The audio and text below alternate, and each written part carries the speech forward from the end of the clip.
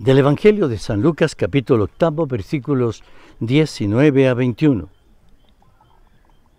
En aquel tiempo vinieron a Jesús su madre y sus hermanos, pero con el gentío no lograban llegar hasta él. Entonces le avisaron, tu madre y tus hermanos están fuera y quieren verte. Él respondió diciéndoles, mi madre y mis hermanos son estos, los que escuchan la palabra de Dios y la cumplen. Palabra del Señor, gloria a ti, Señor Jesús.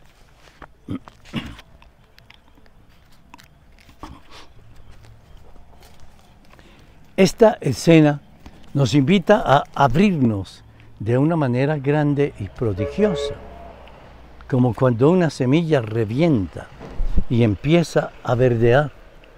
Pues bien, nos dice el Evangelio que vinieron a buscar a Jesús sus familiares, su madre, sus familiares, pero que Jesús, para muchos, como que en una acción increíble, como que si fuera a despreciar a la familia, dice, pero ¿dónde están mi madre y mis hermanos? Son todos estos que escuchan la palabra de Dios y la ponen en práctica. Ciertamente el Señor no está excluyendo, está incluyendo. O sea que nosotros tenemos, según la palabra misma de Jesús, la alegría y el gusto de ser familia de Jesús. Lo ha dicho él personalmente. Mi familia son los que escuchan la palabra de Dios y la ponen en práctica. Por eso decimos que la iglesia es realmente familia de Dios, asamblea de Dios. Por eso nosotros, los bautizados, sabemos que desde ese momento entramos a ser parte de la familia de Dios, de la familia divina, de la familia de Jesús. Y que nuestra vida entonces empieza en un cambio maravilloso y monumental, inmenso. Somos familia de Dios. Hoy, como familia de Dios, estamos invitados a vivir un hecho que no se da sino una vez al año. Bueno, podemos decir que en diciembre también, dos veces al año. Y se trata de qué?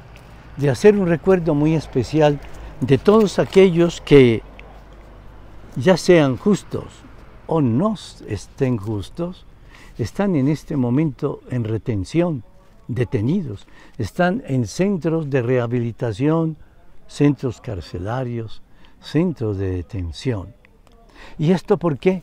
Porque hoy celebramos la memoria de la Virgen de la Merced. Se cuenta que por allá en el año 1218, precisamente la Santísima Virgen a un gran hombre, Pedro Nolasco, un gran presbítero, pues le dice que realmente trate de ponerle mucha atención a todos aquellos que están privados de la libertad, a todos aquellos que por delitos reales o ficticios han sido condenados.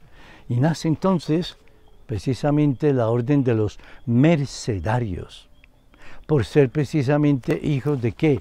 De Nuestra Señora de la Merced. Merced quiere decir don, misericordia, o mejor, misericordia donada, dada. Por eso hoy es la invitación para que nos recordemos de aquellos hermanos nuestros, que son también familia nuestra.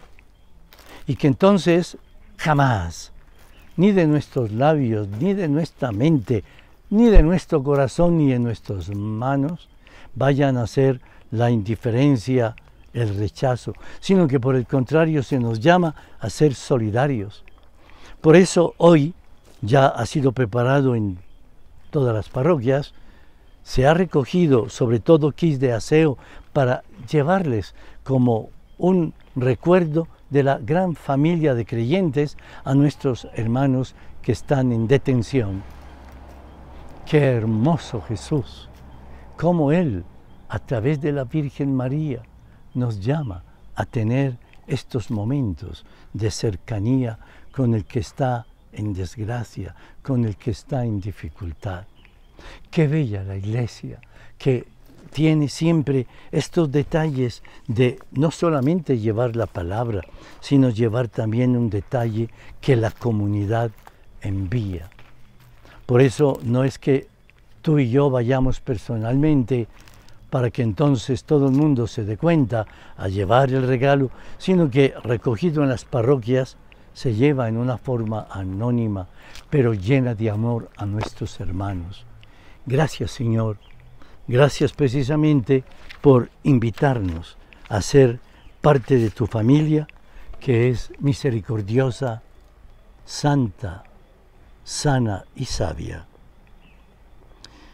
Nos bendiga el Señor hoy y siempre, en el nombre del Padre, del Hijo y del Espíritu Santo. Amén.